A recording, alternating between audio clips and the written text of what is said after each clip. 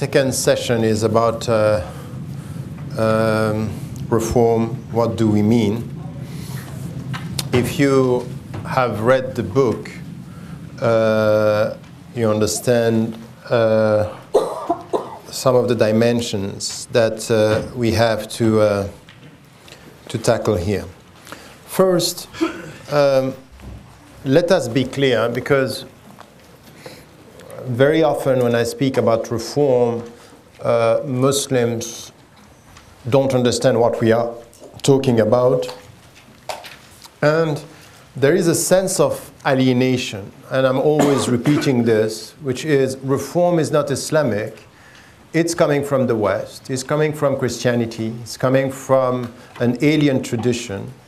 Uh, the same as we have uh, uh, when some of the Salafi literalists are saying, oh, Sufi is not Islamic, it's coming from Christianity. So it's as if we are talking here about concepts that are not really Islamic. While in fact, if you study history and you study the history of the uh, Islamic legal tradition, you will see it's the other way around.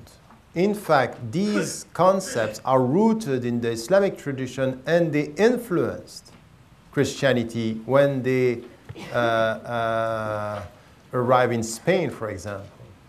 Some of the philosophers and uh, are just showing it's the other way around. All the dynamic that we had in the legal Islamic tradition came to Christianity, and this is where the concept of reform, giving uh, prime, uh, acknowledging the primacy of the text on any hierarchical church or, or, or uh, authority is something which, once again, is coming from the Islamic tradition. So we have to reconcile ourselves with our own terminology and also to understand uh, uh, the Western terminology. And this is where I started with the Islamic terminology from Arabic but I would say you have to do exactly the same with the Western terminology when it comes to reform, enlightenment, and not to accept or take for granted all the definitions that are given. Because def to define is also to give, to give also uh, uh, an understanding, and you can have ideological definition secular is not only a normative definition in some minds, it's an ideological take on the normative definition. So you have to deconstruct what is normative, what is historical, what is ideological, is there a diversity of uh, definitions? It's not an easy task, but it's necessary. When it comes to uh, uh, reform, the very understanding of reform is to come back to a sound form. To reform is to come back to a sound form. Uh, meaning by this that uh, uh, there is something that can be corrupted, uh, there is something that can be changed in history, that there is something that we have to reassess. To reform is to reassess. And to reassess what, in fact? The, uh, the faithfulness of what we are doing now are we faithful? And if we are, that's fine. If we aren't, we need to reform. And the point here is to define reform and to define also, to circumscribe the object of the reform. What are we reforming and what is the meaning of reforming? You get that? The two main dimensions. Which reform we are talking about. So uh, here, uh, we come back to the Islamic tradition. And uh, this is where we come to uh, Al Quran. And in Al Quran, we have from the beginning, the way it is now, not chronologically speaking, but in Surah Al Baqarah, you have people talking about themselves saying, Nahnu muslihun. We are reformers. So, what are we going to be? Because Allah subhanahu wa ta'ala is responding to them uh, mufsidun. They are people who are corrupting. They are corrupting and they are talking about themselves saying, Nahnu muslihun. Muslihun means we are here for the sake of uh, the good. We are transforming the society. In fact, they are lying because they are doing this uh, by first forgetting God, but also spreading around corruption, money, power, struggle, all the idols and all the idols, the, the, the, the, the uh, material and spiritual idols. So, humul mufsidun.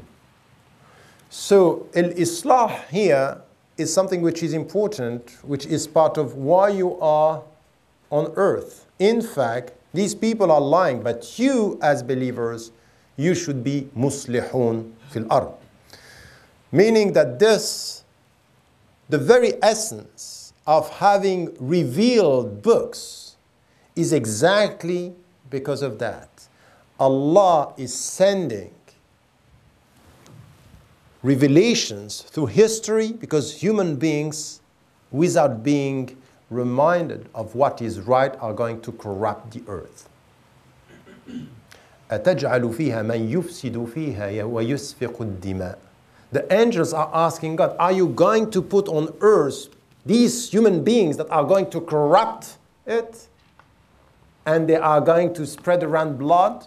This is by essence what the human beings can be. If they forget. If they forget. This is why the Quran is a dhikr, remembrance. Come back to this. The only way for you to be min al-muslihin is to be min al-mu'minin. This is how do we understand that as Muslims. It doesn't mean that others cannot be min al-muslihin, but our main objective is this. And what it means to believe تأمرون بالمعروف وتنهون عن المنكر. So you are here to reform this world for the better. تأمرون بالمعروف وتنهون عن المنكر. This is why you are here.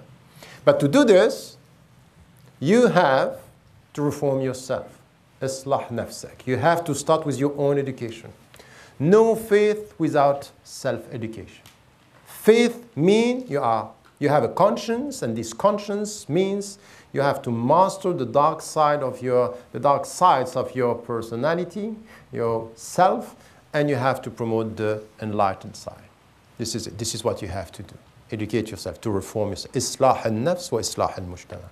Everything in Islam is about this. If you believe in God, change yourself. If you believe in God, change the society. اصلح نفسك وكون من المصلحين Reform yourself and be among the people who are changing this world for the better. So, this is why faith should be visible, and the very essence of Islam is all about reform. It's not I'm a believer and that's it. No, I am a believer and now I have duties. Now I have duties. I have to reform myself. امسك عليك لسانك اصلح نفسك go to التربية Allah subhanahu wa ta'ala is coming to you as a Rabb, the educator and you have to be uh, you get, if it's not following God, you will need to find a murabbi, someone who is going to educate you. Uh, so it's all about this. so the very, the very, the second name after Allah or Rahman that Allah is using about Himself is Rabb, which is the educator. And education is what? Why are you educating yourself? You are reforming. Education is a reform process. So when the people are saying, oh, reform is coming from, no, reform is Islam. Islam is reform yourself and reform the world. This is the starting point. And now you have it coming in our understanding of Islam uh, as well, which is exactly why how am I going to reform myself through education while trying to remain faithful? Is it not what we are talking about, faithfulness from the beginning? My education is to try to be faithful. So education is to stick to the eternal principle to be faithful in history. This is my intellectual, spiritual, social, political, economic faithfulness. It has to do with education.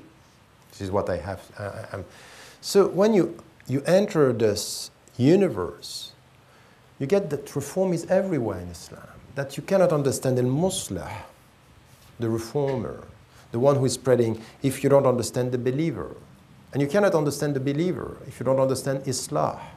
Islah is to reform, is to come back to a sound form. And here you have what I want you to understand, because I don't want you to come to this course talking about reform, getting only a, a legal understanding, a spiritual understanding. when Allah subhanahu wa ta'ala is talking to human beings, and He's telling, uh, uh, he's, he's speaking about our na- natural self, the, the natural disposition that we have.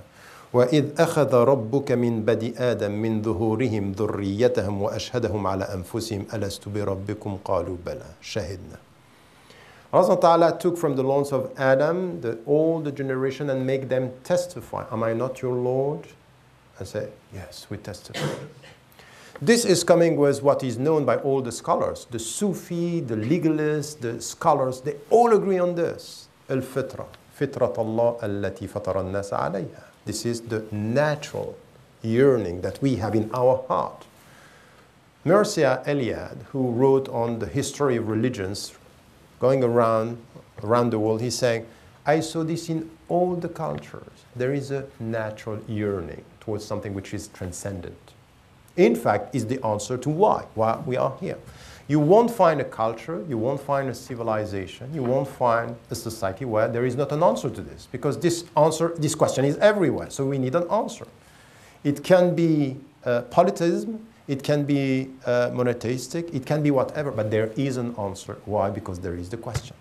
The question for us is al-fitra, is the first aspiration. And we have the answer. Allah subhanahu wa ta'ala is the, I gave you the answer, but you forget. And you, are, you forgot, and you sometimes forget. I gave you the answer. The answer is La ilaha illallah. There is only one God. So, Iman is the answer to al fitra. The fitra is the natural question, Iman is the natural answer. When I'm saying La ilaha illallah, this is my answer to why? Why? Why is everywhere? Wherever you, you know, even with Dawkins here in the UK, say, don't you have the question why? He said yes. But he's not going to answer the same way as us.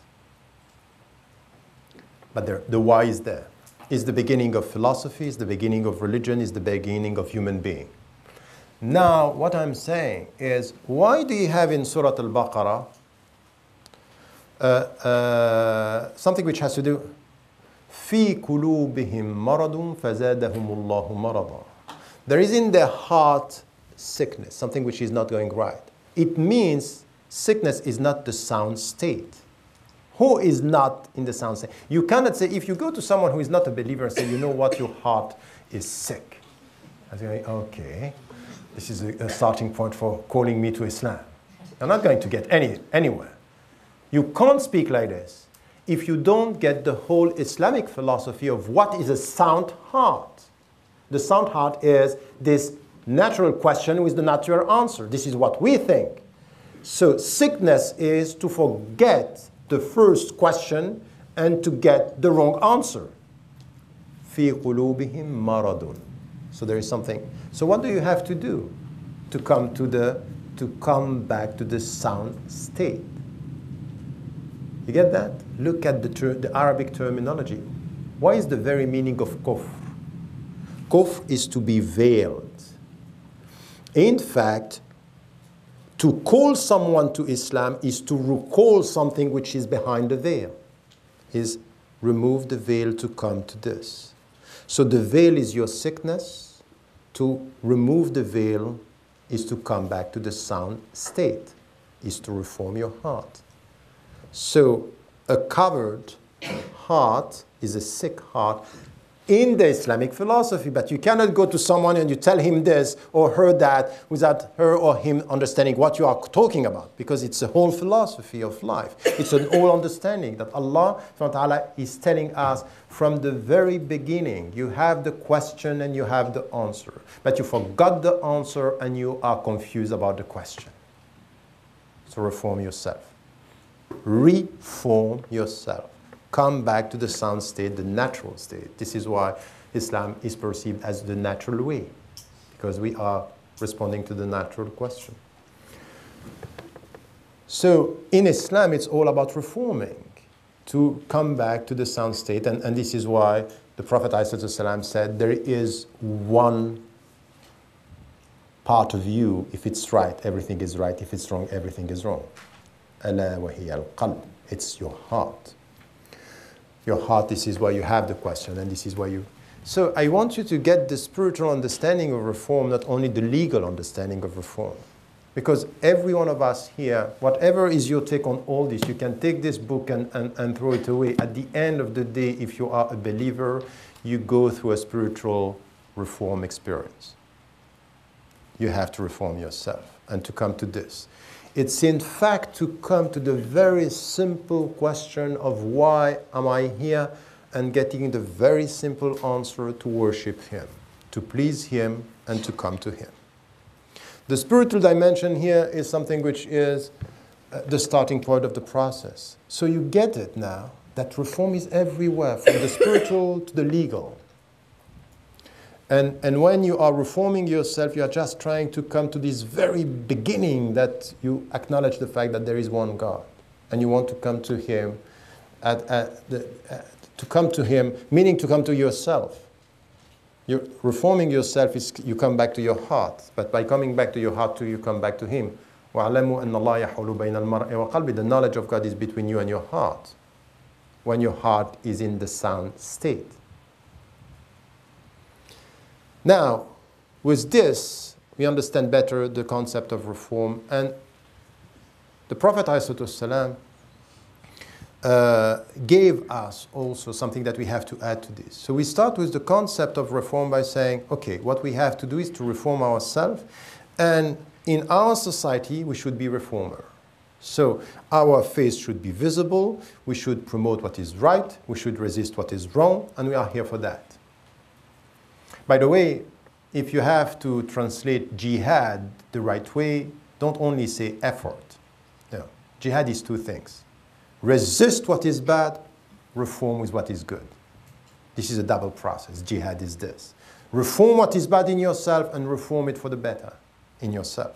Reform what is bad in your society and transform it for what is good. This is jihad. It's a two-way process. It's never effort to resist. It's also effort to change.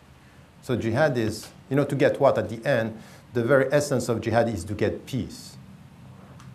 So it's the starting struggle to get the final peace.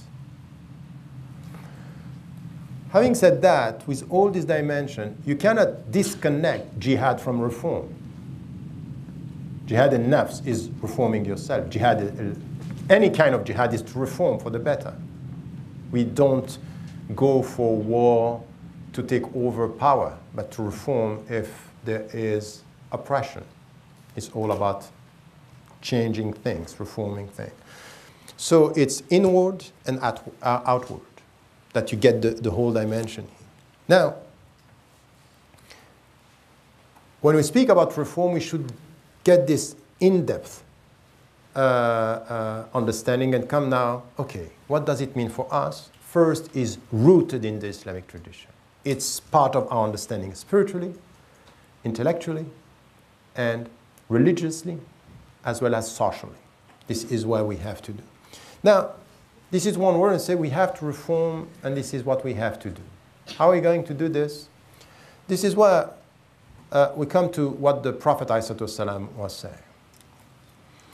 In fact, you know the story when Muaz ibn Jabal was with him and he told him, he, he was sending him to Yemen, and he told him on what are you going to rely, the Quran, and what else, the, the, the, your tradition, and if you don't find anything, I will, I will come back to my mind, exert myself, and meaning by this that my mind is going to do what is needed to do when there is silence, what the silence that we are talking about. I will use my mind to remain faithful. So here, it's my understanding is following the revelation. So I understand the revelation, and by understanding the context within which I live, I will be faithful with the revelation by finding the right answer for my context, which is a new context in Yemen. So I'm following this. And the Prophet ﷺ said, Allah يبعث لهذه الأمة على رأس كل مئة سنة من يجدد لها دينها. And this is the second concept that we have in Arabic, that Allah subhanahu wa ta'ala will send to this community every century, one or a group of people, one scholar or a group of scholars, يُجَدِّدُ لَهَا دِينَهَا It's to renew for this community its religion or its path, its way of being faithful. Deen, it's not only religion, it's, it's, is, you know, deen, it's coming also from dayn, is the way you are indebted towards God. It's what He sent to say, okay, this is this, I, I'm, I'm giving you this revelation, you are in, in debt. You have to come back with an answer. So, to renew to this community its religion, it tajdeed is to renew. To renew uh, this, and this is where, once again, what was understood by the scholars is we are not changing the Quran, we are not changing the prophetic tradition, but we are changing our understanding of the text. So, some scholars, men and women, are going to come in history not to change the Quran, but to give us a new understanding of the text in the light of a new context, in the light of new challenges. So, in fact, why are they coming and why are they more equipped?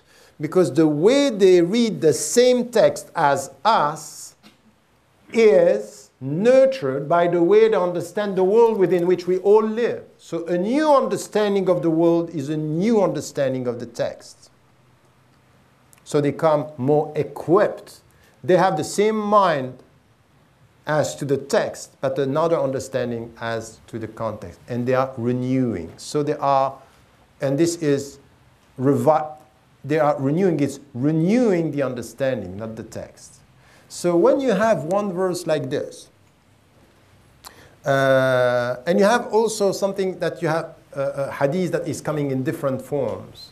Uh, when it comes uh, uh, to people, uh, يصلح ديني أو يصلح شريعتي you have different version of the same ahadith بعدما أفسدها الناس which is when the people have corrupted it it could be deen it could be uh, sharia we have the two version uh, and the more authentic is a deen but there is one which is sharia the point is that the prophet ﷺ is referring to something which is people are going to corrupt to, to, to, to distort the very essence of this religion. And we need people helping us to come back to the sound understanding.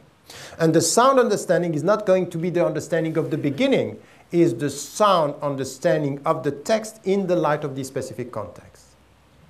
No faithfulness without evolution. So they are not repeating what the, the, the, the, the companions were saying, in fact, they are saying the same substance, but it, which is suitable for this new context. So they are giving us the right, faithful interpretation for our time. So they are reforming, helping us to come to the sound state. So this is where now we speak about reform. It's completely Islamic.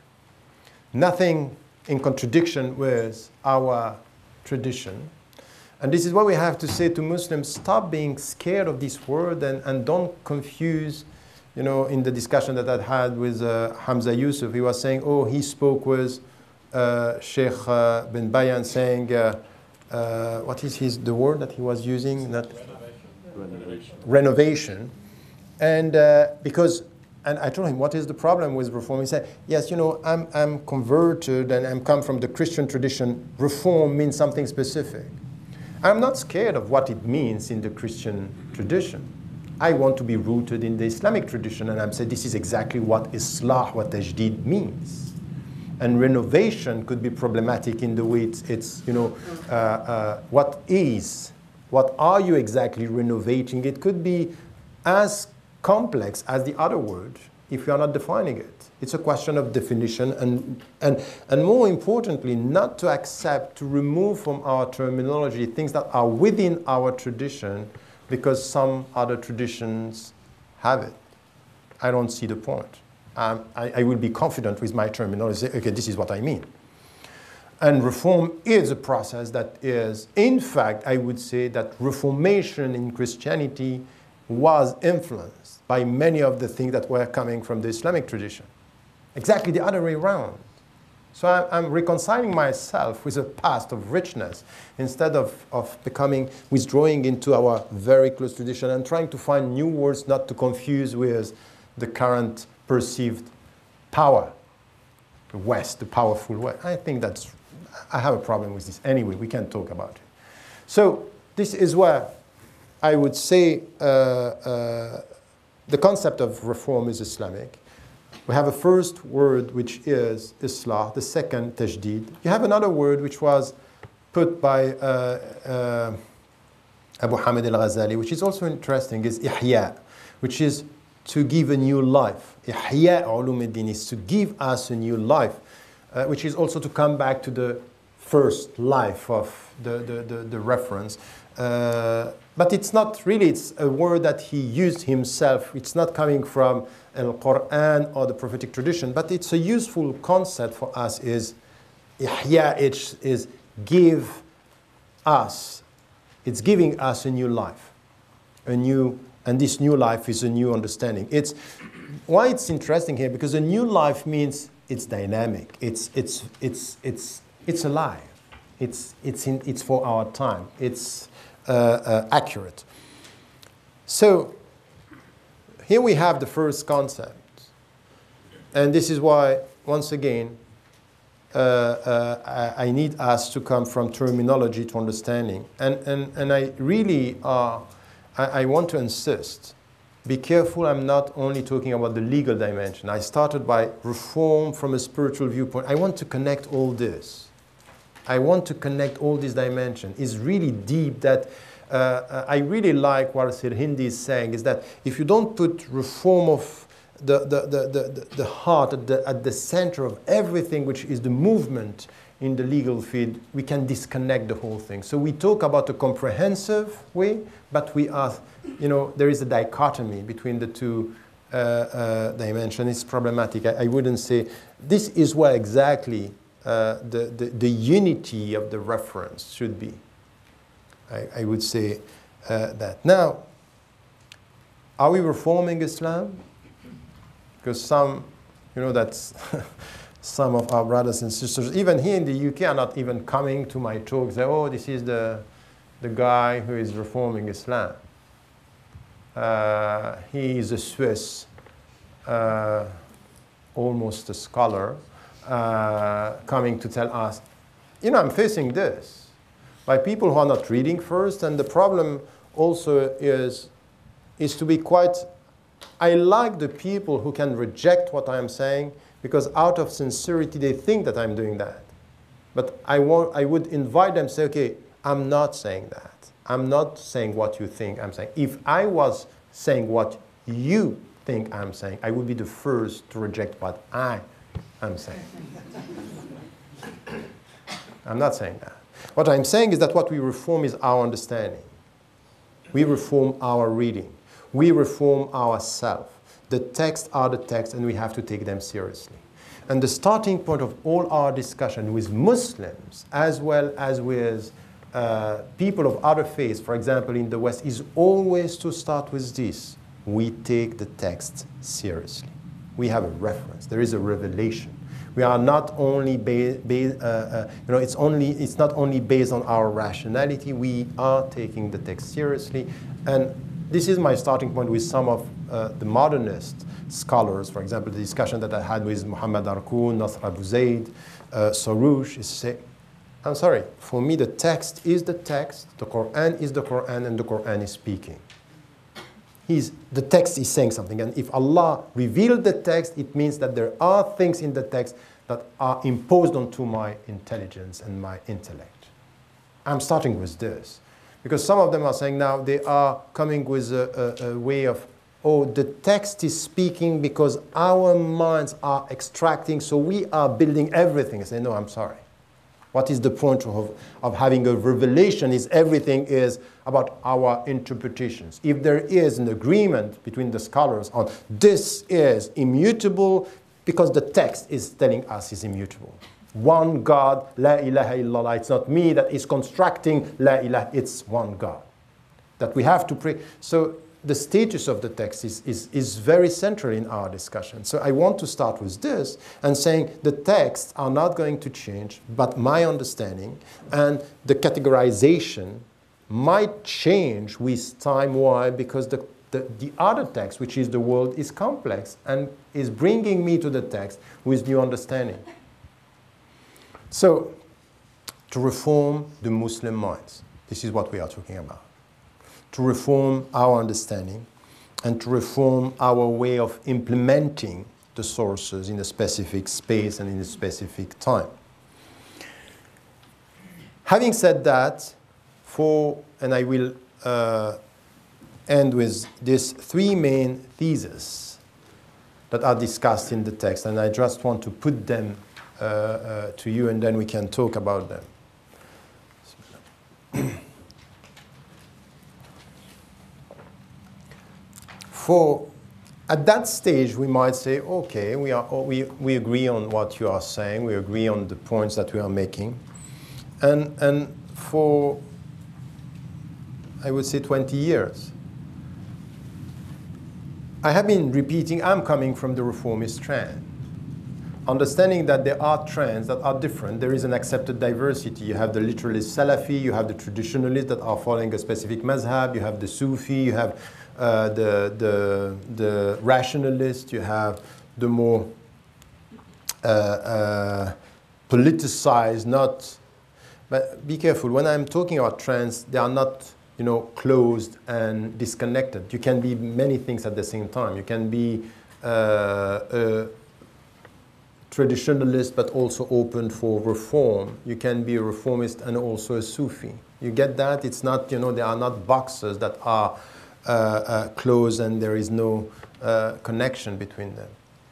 But when I'm, I'm, I'm saying this, for years I have been studying with scholars who are reformists. And I realized at one point that we are talking about the same with this, you are referring to the same concept but not with the same meaning. And this is why from the very beginning, I was talking about reform here, I'm connecting it with the spiritual understanding, not only the legal understanding. Because if you only look at the legal, it could be misleading. Any one of you who studied law know, knows that uh, in fact, by definition, law are following reality. The reality is changing and the jurisprudence is changing just just for you to adapt yourself to new situations. So you have a new case, you think about the framework, and then you come with a specific, it could be a, a, a fatwa, or it could be a, a new uh, jurisdiction for a specific case. So the legal dynamic is always to try to catch up with the reality. Always. We are always following. But when you come to the spiritual understanding of reform, it's not that. It's different. Allah subhanahu is asking us to reform ourselves, not to adapt ourselves to who we are, but to change ourselves. You have to reform yourself, it means to transform yourself. To reform yourself is to transform yourself, is in fact to change and to become better if you only you are obsessed with the legal, it's going to be what I understood at, at one point with some of the scholars. We are not talking about the same thing because obsessed with the legal framework, they were going through adaptational reform. Adaptive. It's we adapt ourselves to the world. So what we are doing in the fiqh is, and I have been doing this for 20 years, 15 years with the book To Be a European Muslim. The second part, I started with Usul al-Fiqh, but very quickly I came to fiqh and saying this is the fiqh for our situation in the West. So which kind of adaptation are needed? Fiqh al-aqalliyat, by definition, is we are a minority in this society and we need to get rules that are helping us to adapt ourselves to the situation. Fiqh al-aqaliyat is not for the al-aqaliyya to help al-aghlabiyya to change, but for the aqaliyya to adapt itself to the imposition of the majority. Get that? So the majority is there. Okay, I have no choice, so I'm adapting. So give me a fatwa here, give me a fatwa. And I'm always saying, and I wrote this in the, the, the I, I wrote the, an introduction to one of the translations of uh, the first fatwa. I say it's a very necessary step, but it's only a step. This is my position on, on fiqh al-aqaliyat, the law and jurisprudence of minority. Because the, the mindset behind is you adapt. And from a spiritual understanding, my understanding of reform is I'm not here to adapt, I'm here to change, to change for the better. So the first thesis of the book, which is why I, I, I reach limits, is I was talking with scholars, and among them, you know, even my own sheikh was not so happy with me at the beginning and say, be careful where you are heading, Sheikh Ali Gomaa, and even Sheikh Al-Qaradawi. Uh, uh, uh, when I challenged the fiqh al-aqaliyat when it came to discussing the concept of citizenship. I said, if at the same time you speak about fiqh al-aqaliyat and you speak about citizenship, there is a contradiction in terms. And he was not, he, he didn't agree with that, and it was, there were tensions in the, the, the European Council about this discussion because another uh, sister went and, and proposed another understanding. And, and, okay, anyway, it was not easy. And it's, not, it's, it's still not easy. But this is the qualification of reform is the starting and should be the starting point of our discussion. Are we talking about reform that is changing the world and changing ourselves for the better? Or are we talking about the reform which is adapting ourselves to the state of affairs? These are essential differences. If you go with fiqh and you adapt, it means you adapt and that's it. And you will have the two main words that you have everywhere in the fiqh circles today, haja wa darura. Haja means it's a, it's a need. We can't go out of it. And darura, it's a necessity. And in the name of darura and haja, you just adapt ourselves. So you have fatwa that are giving to you to adapt yourself to find your way. I'm not saying it's completely wrong. I'm just saying it's a step. But the step, once again, should be in the light of the objectives. What do you want to achieve? When you are always trying to adapt, you are in a protective mode, on the defensive. Okay, I'm in a situation where I'm protecting myself, so I have to find a way to adapt. So I don't have a problem to adapt as long as, in my mind, the final project is to reform for the better, is not to accept the state of affairs, which is one of the main problems I have with economy, for example. You know, many people are talking today about the difference between Erdogan and Erbakan. Erbakan, who passed away, rahimahullah, and Erdogan. And they are coming and say, oh, you know what, it's the discussion about Europe and, and politics. And no, it's not this. The main problem is not this at all. This is okay, new strategies. But there is something that you have to discuss here, is that Erbakan was an economist. And he wanted to create something which was the D8. It's a new alliance of economies that are coming together to change the paradigm. While what you have with the new Islamist project in Turkey is we don't touch economy. We do as good as the West, even better. The growth is better there. But don't talk too much about Islamizing economy. While the point is exactly this. What do you want to achieve? Are you just adapting to the global order and you do as good as the global order? Or are you challenging the global order because this global order is killing 100 uh, 80,000, 150,000 people per day. There is an Islamic ethics in economy, isn't it? So what do you want to achieve? Is it enough to say? So these are critical questions. And when the people are saying, oh, it's a model, that's fine. I don't have a problem with saying they, they are doing a great job there. Still, I have some questions. You got that? always unsatisfied. but optimistic.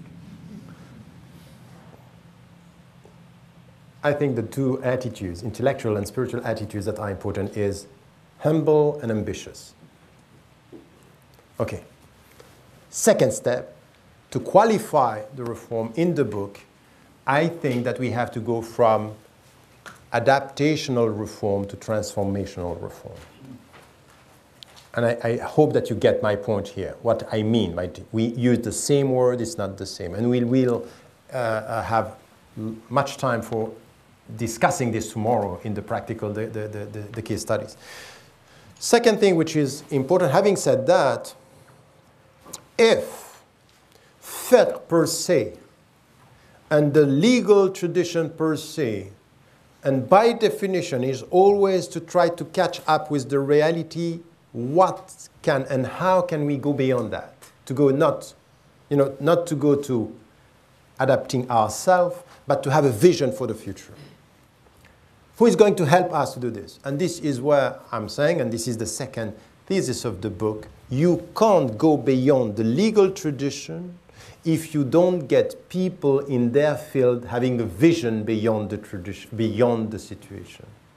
If you come and you give me, I'm not an economist, and you give me a report, and this is, you know, the state of affairs in the economy, I'm, I'm an, a, a scholar of the text. The only thing that I can do towards this, that I don't get the complexity of the question, I'm trying to adapt the text to this situation. But if I have an economist having a vision, knowing where we are heading, and say, if you do this, it means that you are acknowledging this state of affairs. It means that you need the knowledge of the world in order to go beyond adapting the law to the world. This is exactly what spirituality is telling you. You want to change yourself, it's not only with the rules. You need to know yourself to know where you're heading. You know your weaknesses and you know your strength. It's only by the knowledge of the self that you can use the rules to change yourself. To, to know the rules without knowing the self is just to try to adapt to some rules. But if you know yourself and you, you, are using the rules in a projective way to transform. And it means that we need the knowledge of the text and the knowledge of the context together. This is the second thesis of the book. Saying that what was said by the scholars a long time ago, they had this intuition, it's not new, I'm just trying to come with something which is stronger here, is in fact, uh, there are two revelations the book and the universe. And if you want to change the universe, you need to know the universe as much as the book. No way to transform the universe if you come with superficial knowledge of the universe. And if you only know the books, you are going to adapt the universe to some of the imposition of the books, and that's it. You are not going to reform, you are going to articulate something which is not going to, to change the world, but just to protect yourself. So get it right. When I'm saying this, I'm just translating a very an understanding of Islam. Islam is a religion where we say there is one God to change the world and to change ourselves, not to be spectator of the world. It's not only to pray during the night, it's to pray during the night in order to change the world during the day. It's an understanding of Islam. You may disagree and say, no, my understanding of Islam is protect yourself, don't care. I, you know, I have lots of verses and hadith saying exactly the opposite, but it's a very deep understanding of Islam at the beginning, we agree or not. So this is where the second thesis is this, is the knowledge of the text and the knowledge of the, the context are important. If we want to help the scholars, the fuqaha, to go from adaptational reform to transformational reform. If we want to help them, we need to get this right. Third and last thesis is to do that, we are touching something which I knew from the very beginning that it was going to be difficult. It is difficult. People are rejecting it very often, and it's misunderstood is what I call shifting the center of gravity of authority in Islam. Because let us be clear on that. We are talking about power. You know, we are talking about authority. And you yourself, very often, you are looking for an authoritative voice, okay, to speak and to say something. And sometimes there, there are people that you respect and others that you respect less. But what does it mean? Islam and Muslims have no church, but they have centers of power. You may agree or not, but this is true. You have some people who are here that they can speak, and when they speak, you listen or not. And you have your people whom you listen to and other that you don't listen to. But this has to do with authority and it has to do with power. So when someone is giving me a fatwa in economy,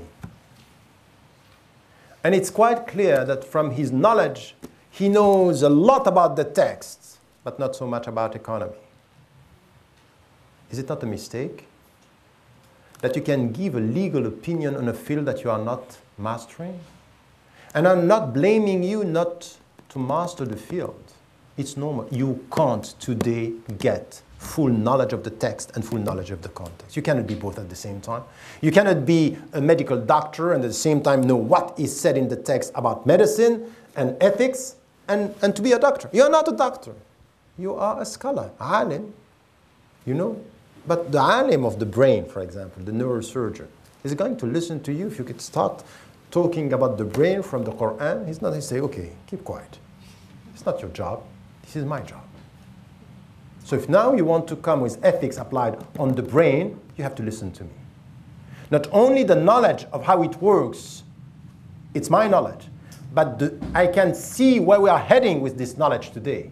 It's very dangerous. And if you get not only the knowledge of where we are, but where we are heading, if you don't come with this, what is a fatwa? How can you, uh, how can you issue a fatwa when you don't know where we are heading?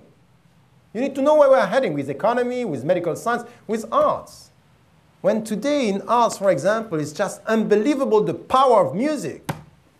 It's not only that you know that music is good or bad or halal or haram. In this, the supermarket, music is the way for you to buy. Get that? And if you are a scholar with the text, what are you going to say about that? Is it halal? This very nice music that is pushing you to buy, not always halal things. This is, this is science, this is knowledge. And you cannot just refer on people who are, to, to, to, and this is why I'm talking about the shifting the center of gravity of authority in Islam. And what the, why it's misunderstood is that many people, they understand what I'm saying as criticizing the scholars. In fact, that's not true. I have lots of respect, much of respect to, to, you know, to the scholars of the text. My problem is with the community, with the Muslims, with the specialists, the economists, the medical doctors, the artists that are spectator of everything which has uh, happening in that field. In fact, this lack of responsible answer to the challenges of today. You can't blame the authority you are giving to scholars when you, with your knowledge, you don't take the authority that you have with your knowledge. The problem is the community is not the scholars. You have the scholars you deserve. If you are passive spectator, they will do what they can do. And what they can do is to adapt. If you don't come with a deep knowledge, and so my point was not to criticize and to blame the scholars, even though I am blaming some of the scholars when they, they want us to understand that they have the full authority on everything. Of course, I'm challenging this. But what I want is for our community to have men and women uh, to be involved in the whole process when it comes to discuss all these things. You know, if you are a teacher today and you come with, with what should be done in, in, in, in this country, for example, and you know how difficult it is, you just cannot come with you know, the, the very formal response for Islamic schools, if you don't get, you know what? There is something which is central in education is the well-being. Are you educating sisters and brothers feeling good in this universe or schizophrenic? are you promoting rules or are you pro- promoting feeling with rules? Because if Islam is all about maslaha and you educate me and I don't feel good, where is my maslaha in this? What is my value? So this is where you have the two knowledges coming together. Three theses. First, from adaptational reform to transformational reform. Second, scholars of the text and scholars of the context should work together. Ulama al-nusus wa ulama al-waqi'. Third, shifting the center of gravity of authority in Islam to get the people working together and to say in applied ethics, we need the two knowledges. If not, we are going towards adaptational reform. Wallahu a'lam wa a'la wa ahkam.